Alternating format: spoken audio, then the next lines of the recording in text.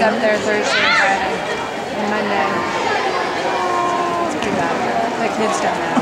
Does she have? Come on, My Lindsay. uncle bought a one-way ticket to Oklahoma. He's just staying. We're hoping.